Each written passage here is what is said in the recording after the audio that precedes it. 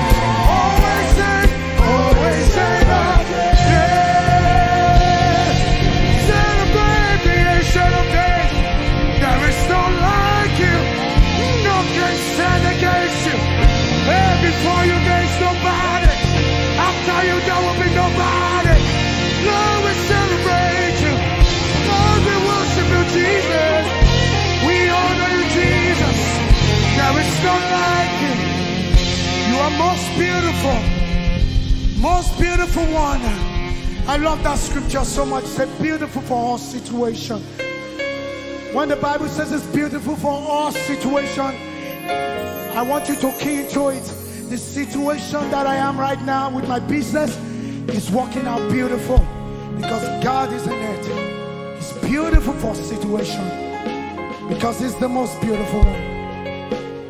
Super song. He says, Wanting a desire, only desire seek, just to dwell, dwell, dwell here forever. This will be my passion, laying at your feet, just to dwell dwell here forever. Dearest Father, closest friend, most beautiful, most beautiful, yes, you are, dearest Father.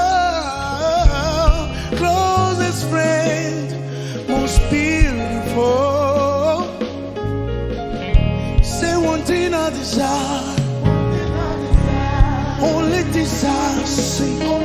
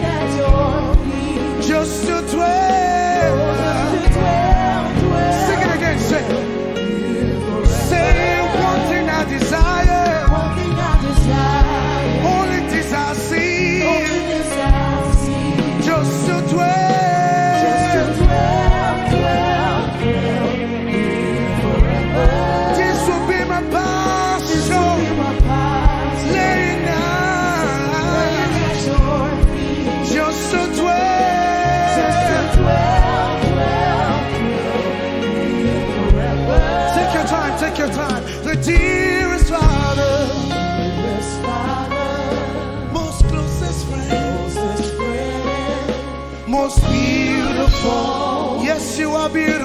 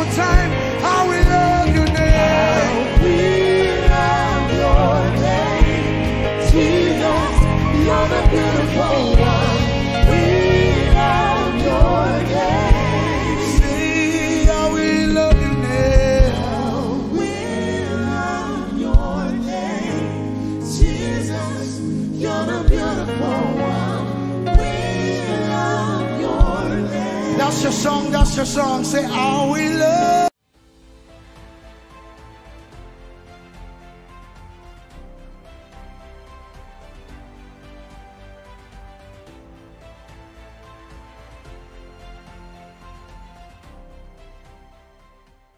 Praise God. Praise God. Hallelujah. Hallelujah. So let's get into the Word of God. And uh, I believe that uh, the Word of God will profit you today, and your life will never be the same again. If you have not been a part of the series that we started a while ago, which is uh, uh, um, uh, the honor code, the honor code, I want to encourage you to get on our resource page on our website. You get the, to be able to download the messages there, get on our YouTube channel, and you'll be able to get the messages there. Powerful, powerful message brought uh, by my wife last week. It was it was powerful, and I, I wanted to be uh, able to get hold of that. How we honor God with our time, and that was titled "A Life of Times," and it was such a, a powerful message that I think you should be a part of. Today, I'm speaking on what I titled "Kingdom Trustees." As we get on with how we honor God with our lives, uh, especially honoring God with our talents, honoring God with our time, and then also honoring God with our treasure. Glory be to God. So we're getting to this part of this series where we're speaking to the subject of honoring God with our treasure. Honoring God with our treasure. And the title is Kingdom Trustees. Kingdom Trustees. One important paradigm that we must all have is that God wants us to honor Him with everything. Everything that we have.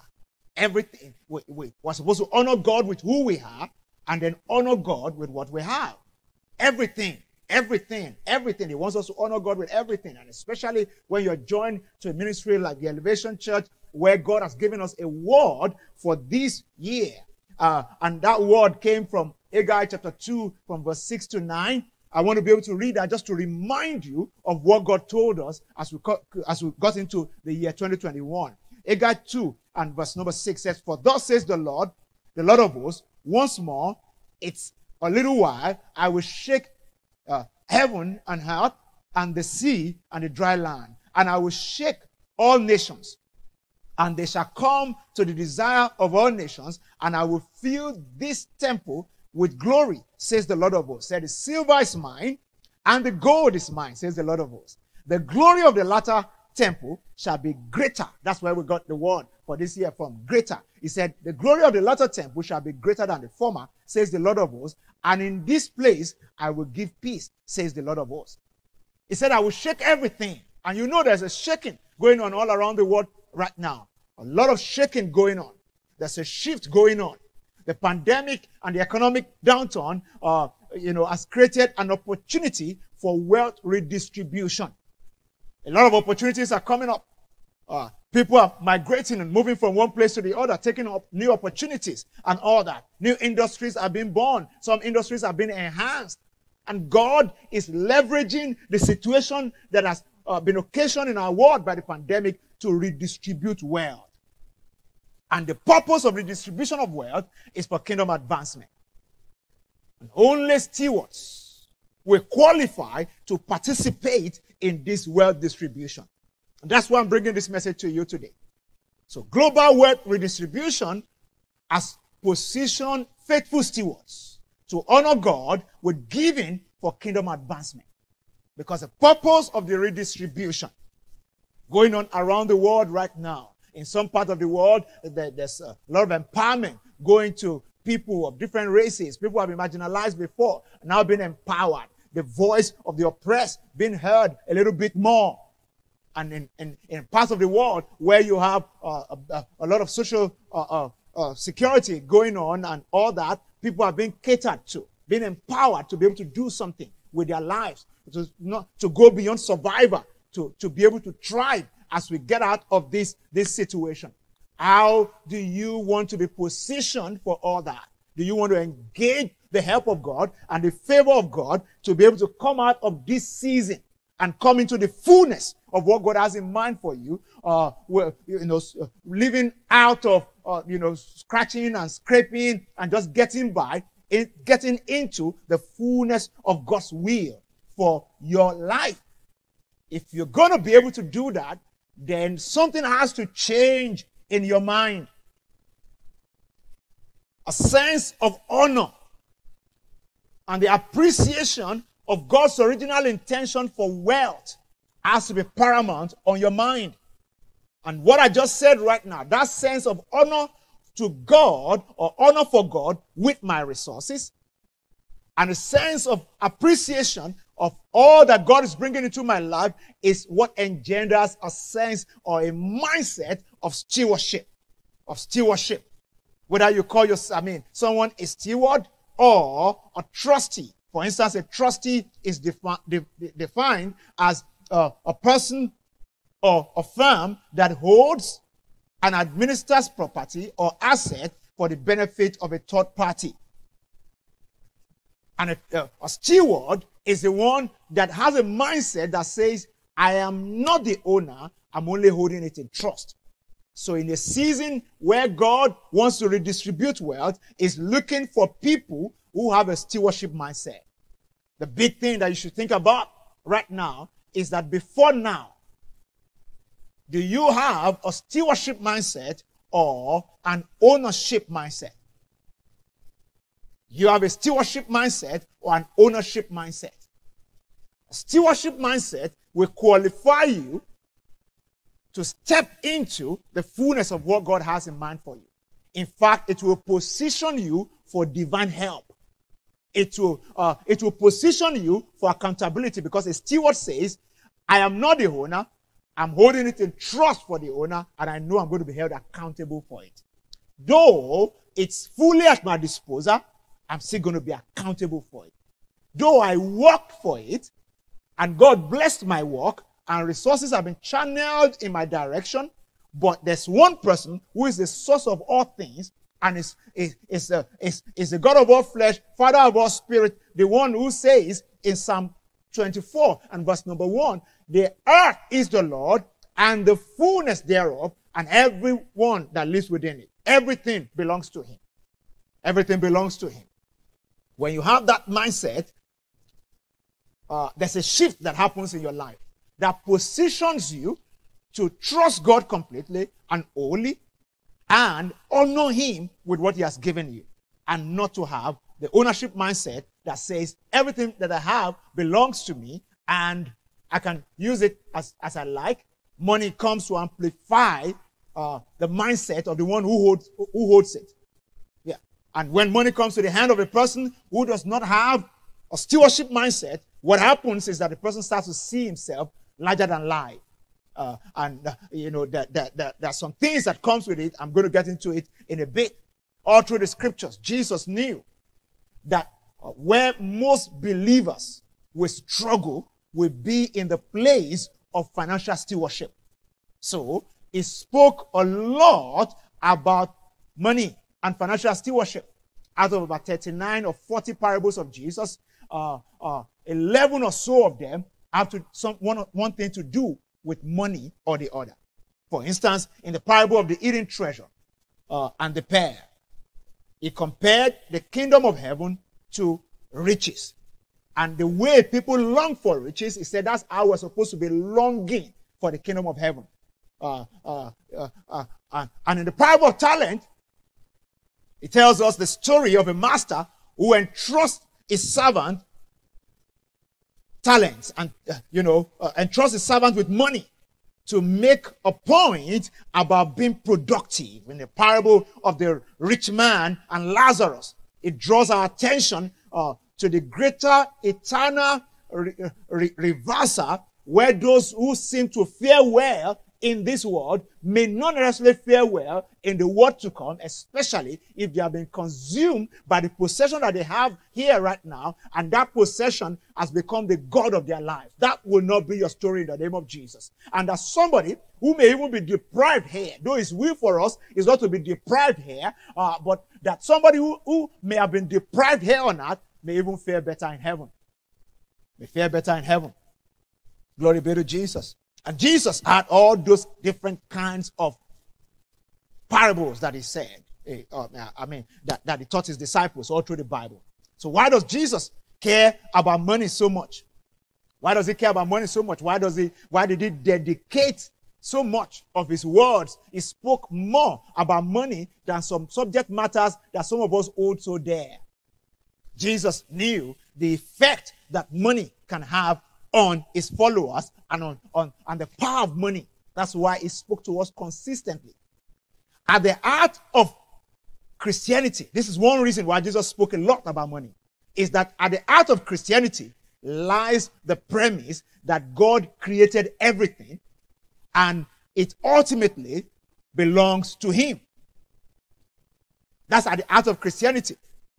Human beings exist as stewards or trustees uh, or managers of God's resources. They are not the owner. God owns everything. That's at the heart of our faith. And they, when we talk about these resources, a, a, a, a large part of it is material resources. We've talked, we've talked about our talents before now, and I mean our skill that God gives us. We talked about money, but today let's focus. I mean, we talked about time, sorry, but today let's focus on money. Money. So stewardship is not just an aspect of our Christian life, it is the whole, whole of our Christianity. It is a core course in Jesus' discipleship, uh, uh, uh, you know, curriculum. It was a course that if you fail it, you have failed in, in the entire Christian walk. That's why, you know, Jesus will, will, will say in Matthew 6 and 24 that you cannot serve two masters. And I'm going to land on that very soon. He said, You, you cannot serve two masters. Uh, he knew, you see, when Jesus was saying you can't serve two masters, you would think he was talking about God and Satan. It would have been, you know, more straightforward if he just said you, you can't serve God and Satan. No, he said you cannot serve God and mammon. And mammon is the spirit of money, is, is the God of money or covetousness, the demon of covetousness. That's mammon. And he said, Jesus said, no, you, you can't serve two masters. It means in this world, uh, the temptation to serve money may even be greater. And that temptation taking you away from God may be greater than the temptation to serve the devil. So the devil will always leverage that to sway people's mind from being able to worship God completely with what God has given them. And that will not be your own portion in the precious name of Jesus. Uh, so Jesus uh, uh, took his time to school us on how to escape this lust for money and covetousness and all those things. Uh, uh, uh, and it he helped us to understand that our Christian life is supposed to be focused on, on something greater than seeking God for money. But God wants you and I to be wealthy, to be okay, but that money, that wealth, that resource must not take us away from God. For many of us, the struggle to align ourselves with God uh, or God's will is played out in the realm of finances. That's where we struggle the most. How do I honor God in my financial life? It's always a struggle. It's always a struggle. It is the real battleground. Uh, the great man of God, Martin Luther, once said that there are three conversions necessary the conversion of the heart, which is salvation, the conversion of the mind, which is mind renewal, that the scripture talks about in Romans 12 and verse 2, that be not conformed to this world. That's after you've been saved. That you can still conform to the world, think like the world, understand like the world, and manage your life like somebody who is not saved. And many Christians manage their financial life like somebody who is not saved. They have zero stewardship mindset, complete ownership mindset, just like their unbeliever friend. They don't talk to God about how to spend money, what to put money into and what not to put money into, what aligns with biblical precepts and principles when it comes to handling money. When money comes to you, you don't think about, so I'm a steward. What should I do with this and what should I not do with it? What are the basic things I should do with money? Next week, we're going to get into that a lot more. But for today, I'm speaking to that mindset. Martin Luther said there are three conversions necessary the conversion of heart, the conversion of mind, and then the conversion of the purse. That's the conversion of my wallet. Many Christians have been converted in their heart, so they know God. They're still working on the conversion of the mind because the journey of mind renewal is a long journey. But where we uh, struggle a lot more is the conversion of the purse, according to Martin Luther. Uh, and if you see a Christian whose purse, whose wallet, whose financial life has been converted, there's a huge difference because the person has become a full disciple, a fully devoted follower of Jesus Christ. Glory be to Jesus. Jesus talked about money because when we truly understand our roles as stewards, money then becomes a tool uh, we can invest into growing God's kingdom. That's what it is. That's what it is. That's what it is. So in the Beatitude, Jesus, one of the things that he spoke to us, so, so the Sermon on the Mount, one of the things that he spoke to was also money. In Sermon on the Mount, you know, in Matthew chapter 6, from verse 19, I read in New King James Version, he said, Do not store up for yourself treasure on earth, where moth and rust destroy, and where thieves break in and steal. But store up for yourselves treasures in heaven, where moth and rust does not uh, destroy, and where thieves do not break in and steal. In other words, Jesus is saying that the, the world system is very fragile. The earthly investment vehicles are fragile. Uh, uh, and that's what we're fin- fin- finding out recently. When things collapse, and some people were where we have been hiding things away from God, refusing to do the will of God with the things that He has given us, we just see all of a sudden everything is reducing to nothing. You know, uh, today we have high rate of depreciation of asset in different places, different things happening.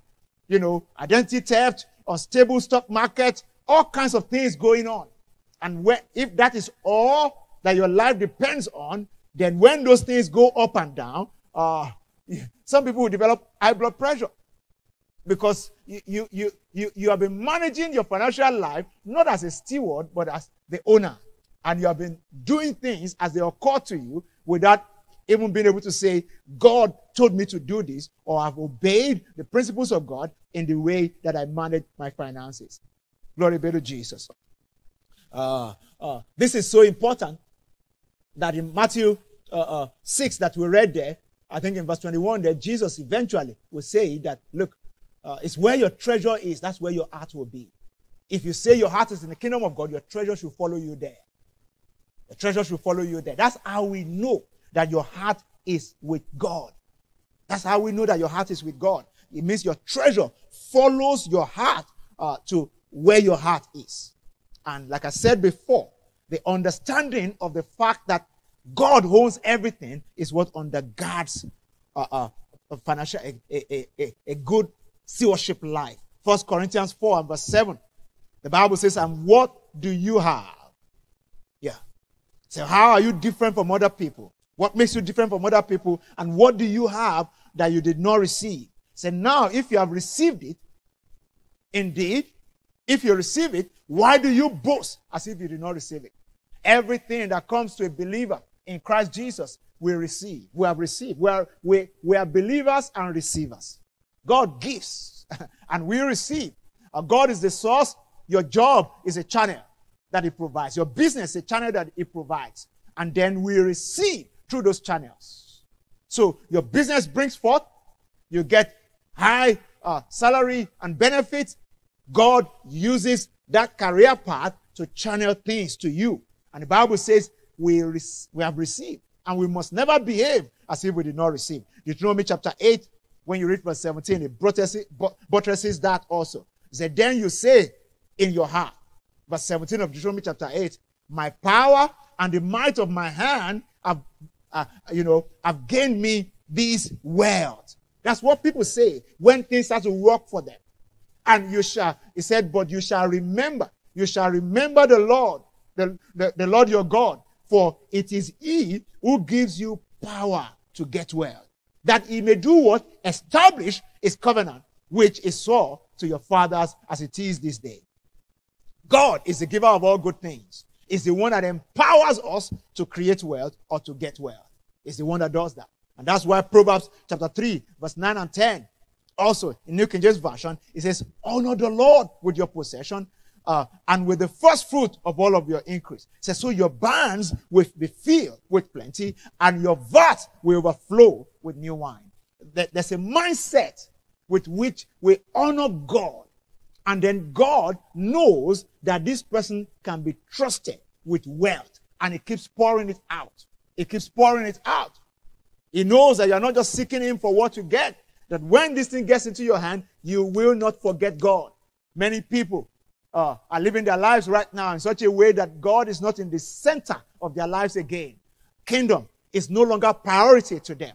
It's just amassing and amassing and amassing wealth. That's the priority when you say what is the link between what you have amassed and the one who gave it to you. That the Bible says here in Deuteronomy 8 and uh, verse 8, it said, uh, is the one that gives you power to get wealth that he may establish his covenant. Purpose of the wealth is for the establishment of the covenant that he has uh, with us. And part of that covenant, uh, you know, establishment of that covenant will come with uh, our sense of honor and dedication to him. And if we have that sense of honor and dedication to him, what we want to do is to serve him with what he has given unto us. To serve him with what he has given unto us. There's a point a man can get to that money and material possession becomes your God. You can pay lip service to God, to salvation, but really and truly, you can do anything for money. Really and truly, are, it's becoming much more difficult for you to, uh, uh, you know, for, for you to be, uh, uh, how do I put it now? Like the Bible says, for you to be rich towards God and for you to freely use money for what it is meant for, the primary purpose for which God gave you the money that He has given you.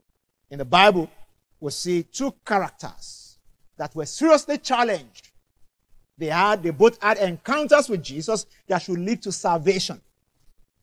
But the way they reacted, you see the effect that money and lack of uh, a sense of stewardship can have on people, especially when money has come into their hands. The first person I want to speak about, uh, and then I'm going to, uh, you know, also talk about Abraham before I start to wrap up, The first person I want to speak about is Zacchaeus.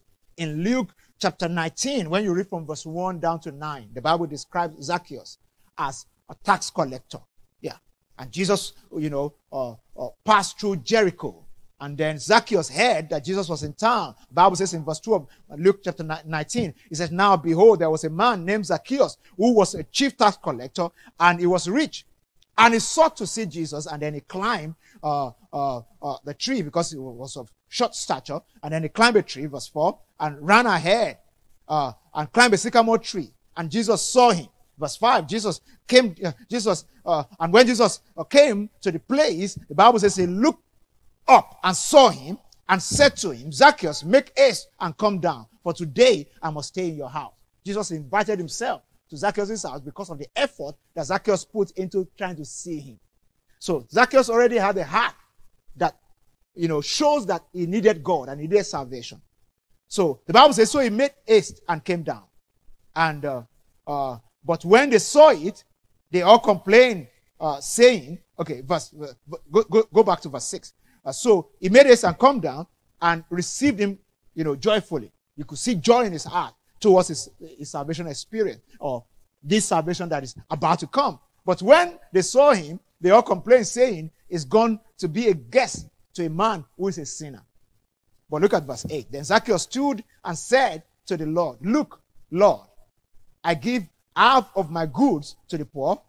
If I have taken anything from anyone by false accusation, I restore fourfold. And verse 9, that's where I'm going. Jesus said to him, Today salvation has come to this house because uh, he also is a son of Abraham. Talking about Zacchaeus, being a Jew. And this is what Jesus was, uh, this, this, what he said moved Jesus. That this guy can handle the kingdom. He can handle being a disciple. Because with the encounter that he had with Jesus, you could see that he, one of the things that Zacchaeus understood was that you cannot be a follower of Jesus and not be able to handle money and put it where it belongs. You cannot be a follower of Jesus and not be someone who understand the honor code of stewardship. And he, he said, look, this salvation that I'm engaging you in my house today with touch not just my, my mind, not just my heart, it will touch my wallet also. So I'm going to let go of things that I've gotten fraudulently. And much more than that, uh, I'm going to, you know, focus on being generous and giving out. And Zacchaeus decided on his own, I'm going to give out half of what I have. But if you compare that to the rich young ruler who also had an encounter with Jesus, Mark chapter 10 from verse 17. Uh, please, can you give me Mark chapter 10 and verse 17? The rich young ruler also had an encounter with Jesus. It was a similar encounter, but the end of it was different. And the difference between the two of them was the state of their heart. And that's what I'm speaking to today. One was able to deal with, you know, just letting go and being a steward and being accountable. The other one was not. Luke, Mark chapter 10, from verse 17 here, the Bible says, Now, as he was going out on the road, one came running and knelt before him and asked him, Good teacher, what shall I do that I may inherit eternal life? The same guy, this guy, this rich young ruler, uh, rich guy, young man, was also looking for salvation. And Jesus said to him, Why do you call me uh, good? No one is good but one. Uh, uh, that is God. You know the commandment. He said, do, do not commit adultery, do not murder, do not steal, do not bear false witness, do not defraud, honor your father and your mother, and all that. And he answered and said uh, to Jesus, Teacher, all these things I've kept from my youth. Then Jesus looked at him and loved him because he's, he's a good guy and said to him, One thing you lack, one thing that can stop you, one thing that can stop you, Ah, one thing you lack, said, Go your way, sell whatever you have, give it to the poor, and you will have treasure in heaven. And then come, take up your cross and follow me. Wow. Look at verse 22, the last verse there. But he was sad at this word and went away sorrowful because he had great possessions. Jesus said, just to test this man, do you really want to follow me? You want to be a disciple? Then you have uh, to demonstrate uh, uh, the fact that money is not ruling over your life, that you can decide what to do with money and you can decide to honor God with money, not money ordering you around. Many people are living as slaves of money. Because of money, this guy could not follow through with salvation. Zacchaeus, before Jesus asked him anything about his money, already gave him a plan of how he was going to distribute. This guy was holding everything to his chest. You know, some people, uh, uh, all your salary uh, is not even up to a thousand dollars a month, you know, uh, but you hold it to your chest to the point that you can't give God out of it. You can't give the poor out of it. You can't even probably service your family well out of it, just holding everything to your chest. And people lose out on grace, lose out on God's plan uh, to resource good stewards much more and to honor stewardship when we live that way. And that's what happens to this guy. The Bible says he went away sorrowful because he had great possession. In other words, you can flip it around to say he went away sorrowful because great possessions had him. His possession held him back from salvation and from walking with Jesus and living his life to follow after Jesus because he came to ask for salvation. The big question today, as we start to, to, to wrap this up, the big question what do you derive or where do you derive your sense of confidence and security from? Where do you derive it from? Your sense of confidence and security, where do you derive it from? Do you derive it from your bank account, your account balance, or the investment you have in stocks, or your real estate investment? Where do you derive your sense of security from? Because that's the most important thing about stewardship. A steward derives his sense of security from God and his relationship with God, not what he possesses. So it's easy to let go of material possession because it does not diminish you. You know, we live in a day where Forbes will always have a list of richest men in the continent, richest men in the world. And some people, their goal in life is to enter Forbes list. Their goal is not for their name to be written in the Lamb's book of life. Their goal is not to have mansions in heaven and to wear crowns in heaven. Their goal is to just be on Forbes list to be, you know, uh, the big boy of your city. Somebody wants to be London big boy or, you know, um, Toronto big boy or big girl, you know, big girl of Los Angeles and all those kind of things. Different cities in the world. People, even Christians, have lost sight of the fact that we are just sojourners on this place, this planet. Our real home is heaven. God wants us to live well here and, and be rich and be okay and be blessed so that we can bless other people, resource his kingdom, focus on kingdom advancement because where we're going to spend eternity, we must lay up treasure there by being focused on the kingdom of God here right now and focusing on how we bless humanity, not just how we amass. That's how we honor God. And we show that we trust Him and our sense of security and confidence comes from Him. As we close today, in Genesis 22, when you read from verse 1, the story of Abraham, Abraham demonstrated the fact that his sense of security and dependency is from God, not from what he possessed, not from what he had. So today, when you sing, Abraham's blessings are mine, you need to understand what you're singing.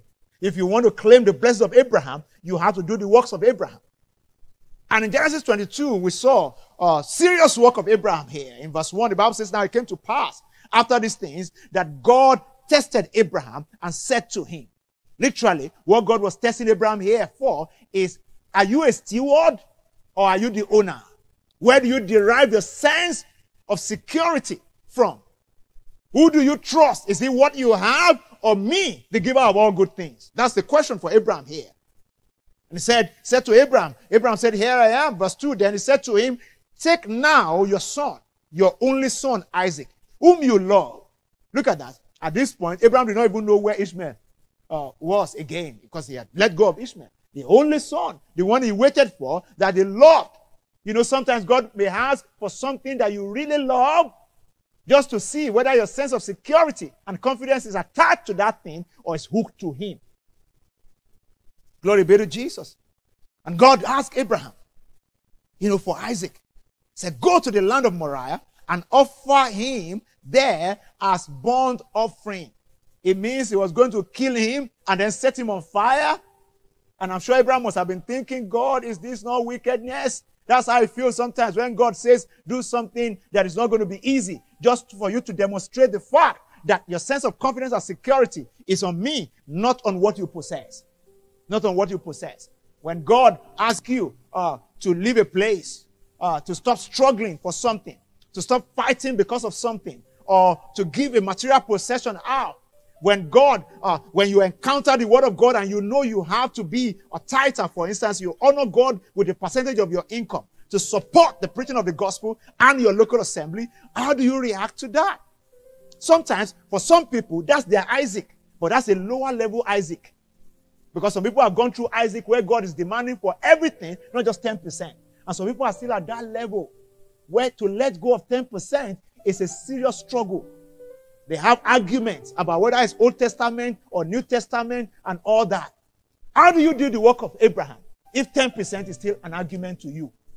Forget about whether the Old Testament or New Testament. The mind with which you are doing it is what matters. In the same Ten Commandment, Bible says you shall not murder. You shall not, you know, covet your neighbor's property and all that. Do you say whether it's Old Testament or New Testament? You just don't do those things. In the same vein, giving to God is never an issue of Old Testament or New Testament. It's about how you and I want to honor God. I'm going to speak to that more in this series as we go into, uh, you know, maybe next week or something. But I need you to understand that where is your sense of security? Abraham here took a three day journey. Verse 3 with prompt obedience. So Abraham rose early in the morning and saddled his donkey and took two of his young men with him and Isaac his son and he split the wood uh, for the burnt offering and arose and went to the place which God had told him. And on the third day, Abraham, you know, this thing is not going to be easy. If with somebody else, if you can't locate, God says you should transfer uh, or do something for your church or for somebody or, or for a family member or for somebody who needs something, and just because you cannot locate the person's account number, you let go of it, you forgot about it. You told yourself you, you are better off spending the money on something else. It's your sense of dependency on God. Abraham journeyed three days before he could locate the particular mountain. But he stayed at it. Three days journey. And then on the third day, the Bible says he lifted his eyes and saw the place afar off. And Abraham said to the young man, Stay here with the donkey, and I and the lad will go yonder and worship. What God demanded of him, he called it worship. Worship. What is your perspective when you give to God? What's your perspective when you give to the poor? What's your perspective when you sponsor the gospel? Is it a donation or worship? Because you are giving it to honor God. It's not a donation, it's your worship. When you give a tithe, it's not a donation. You're not giving to the pastor, you are worshiping God. That's why you should go to a place where you know that they can account for your giving. So that you don't have any excuse for not honoring God as long as you are a believer. Because a part of your resource must honor God, must go to God, must go to God, must go to God. Abraham here said, We're going to worship God. And Abraham took the wood. The Bible says in verse 6 there. Abraham took the wood of the burnt offering and laid it on Isaac, his son. And he took the fire on his hand and a knife. and the two of them went together. And Isaac asked him a funny question. Yeah. Isaac asked him a funny question. Uh, this is the kind of question that your flesh always will ask you when you are about to honor God with your substance. Isaac asked him a funny question. My father, he said, Here am I, uh, my son. Then he said, Look, th- this is the fire and the wood. Where is the lamb for the burnt offering? And Abraham answered him in a very beautiful way My son, God will provide for himself a lamb for the burnt offering. So the two of them went together. He didn't want to tell him, You are the burnt offering, you are the lamb. But when they got there, the Bible did not record it. But Isaac must have struggled a bit, but he tied his hand, tied his leg. There's some there are things that God will be demanding of you this season to tie up and give to Him and bring to Him. What will be your response? Will you be a good steward of God's grace and of God's resources? Will you respond to Him? Because at the point where Abraham responded, then the ram was caught in the ticket, and the story, like I say, is history. Because God said this is just a test. God provided for Himself a lamb And then afterwards, God started to bless Abraham. And he swore over Abraham's destiny. And things never remained the same from that point. Final test. And Abraham passed. Will you pass the test of good stewardship this season? Will you pass the test as a kingdom trustee and not the owner of the things that God has given to you? I want you to lift your two hands to Jesus today and just ask Him, Father, I receive grace to be a real trustee of your kingdom. I receive grace to be a steward of your manifold grace and your gift over my life. I am not the owner, I'm just a steward. All that I have, all that I am, and all that I will ever have, they all belong to you. They all belong to you. They all belong to you. That let that be the confession of your mouth today as you lift your two hands to him, saying, Lord, take my life and let it be consecrated to you. I refuse to have the ownership mindset. I want to live my life with the stewardship mindset. I want to be a steward of everything that you have given to me. I want to position uh, for a, a great redistribution of wealth that, that is happening right now and continue to happen as we go into the post-COVID era. I want you to find me faithful that you may bring more because the Bible says he that is faithful in little, more is added to him. I pray for everyone joined to this service today that God will find you faithful in little things. Find you faithful uh, with your small business. Find you faithful with the few opportunities that you have right now. Find you faithful with the resources that He's put in your hand. In the name of the Lord Jesus, may you qualify for what is ahead of us. In the name of Jesus, the glory of the latter house shall be greater than the former. Uh, and I pray in the name of Jesus that God's glory will rest upon your life this season. God will find you faithful. God will find you qualified. In the name of the Lord Jesus, if there's anyone Listen to me right now. And you know that you have to repent. You know that you owe God.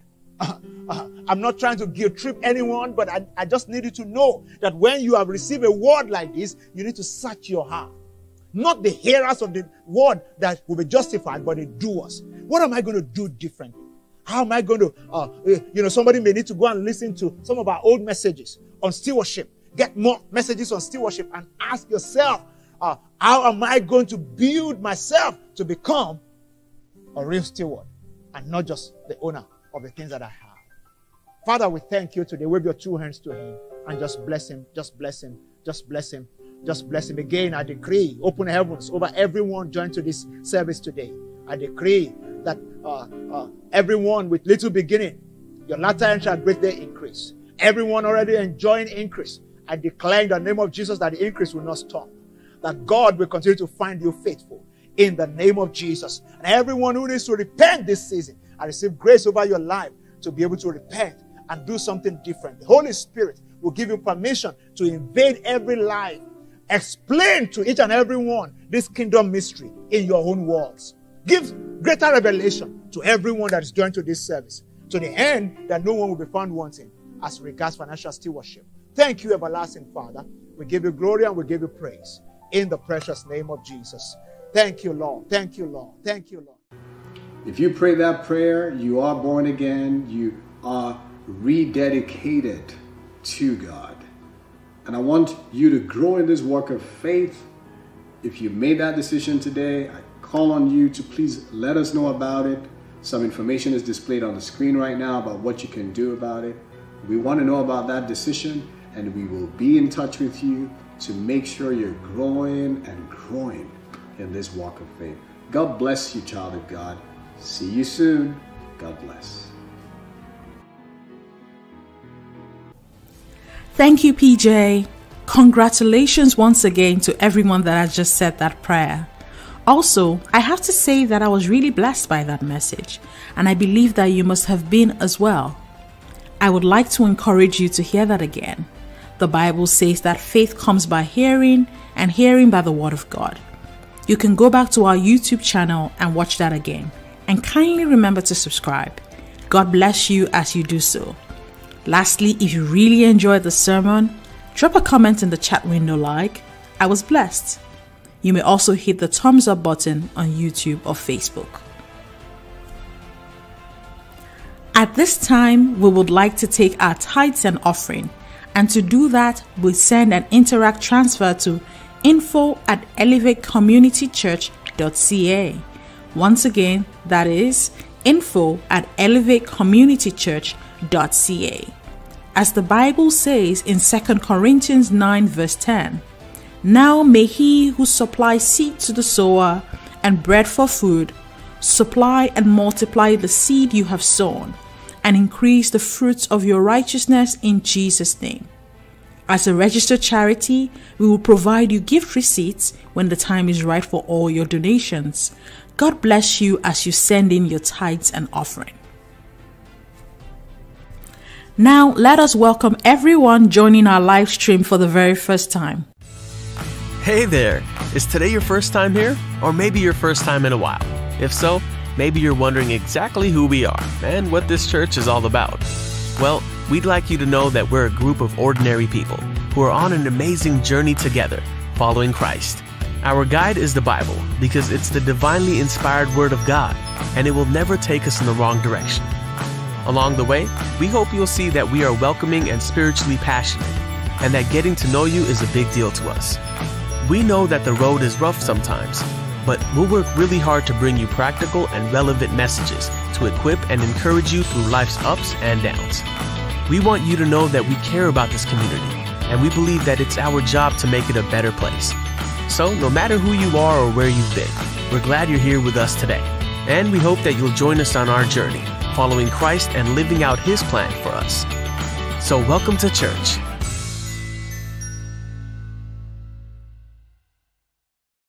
Thank you so much for joining us today. This is the Elevate Community Church, the Canadian campus of the Elevation Church Nigeria. We're on a mission to make greatness common. If you could subscribe to our YouTube channel and follow us on Instagram and Facebook, we will appreciate it a lot. Here are the announcements for this week. A new set of maturity and spiritual development classes will start on Saturday, May 29th. Some of the available courses include Receiving the Baptism of the Holy Spirit, Understanding the Ministry of the Holy Ghost, Profiting by God's Word, Believer's Lifestyle of Health and Healing, Spiritual Leadership Essentials, Mastering Your Emotions, The Art of Worship.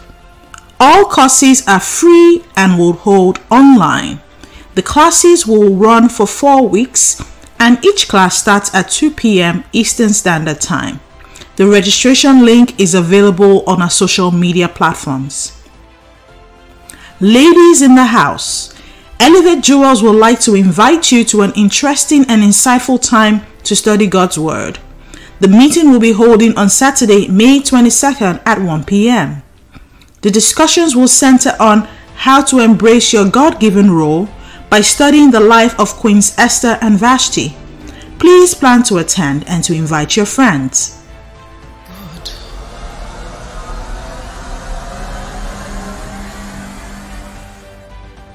Singles in the house, this is for you. There will be a Netflix party on May 22nd, 2021, starting at 8 p.m. We will be watching the movie God Calling. Note that you need to register to receive the link to the party. The registration details is on our social media platforms. Our Connect Group meetings will hold this week. If you have an existing Connect Group, you can expect some information from your Connect Group leader. In case you need some information on how to join a Connect Group, send an email to connectgroups at elevatecommunitychurch.ca. We meet as a church family to pray on Wednesdays between 8 p.m. and 9 p.m.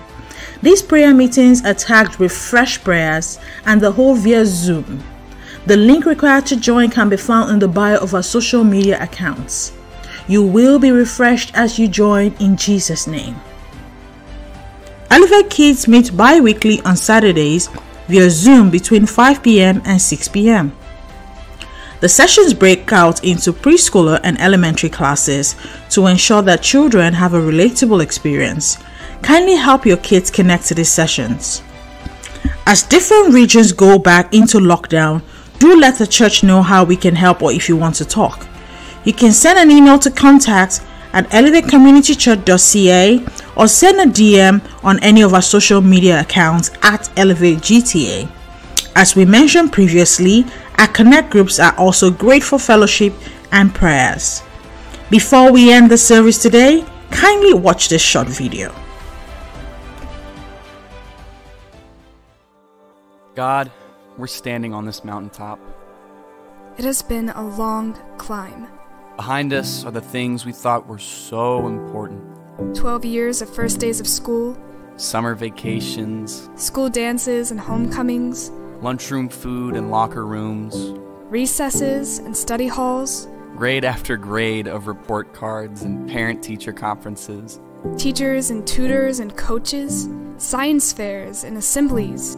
those 12 years behind us, down there at the bottom of this mountain. Now, Lord, we have climbed to the top. And we wait in the dark to see what happens next. There on the horizon, we know the moment. The light pierces the darkness, The glow, the rays of light and warmth. radiating, illuminating. That is our future. We have climbed this high to see it. All those things we learned are the threads we have used to build these wings.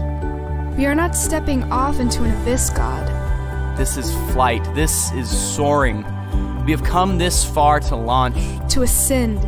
to aspire. Now we hope in you, Lord. Don't let us grow tired. Renew our strength through you, and we'll soar on wings like eagles. We are prepared to fly into our future.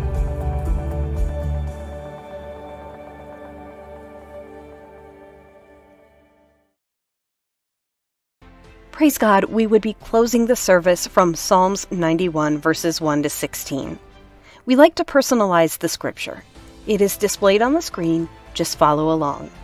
Verse 1 I dwell in the secret place of the Most High, and I abide under the shadow of the Almighty.